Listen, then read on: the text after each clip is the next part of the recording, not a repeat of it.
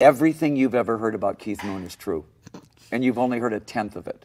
Oh my goodness. He used to come over to the house, to our house, and my wife and I were just married, and she had no idea who he was. And he'd stay for a week, right?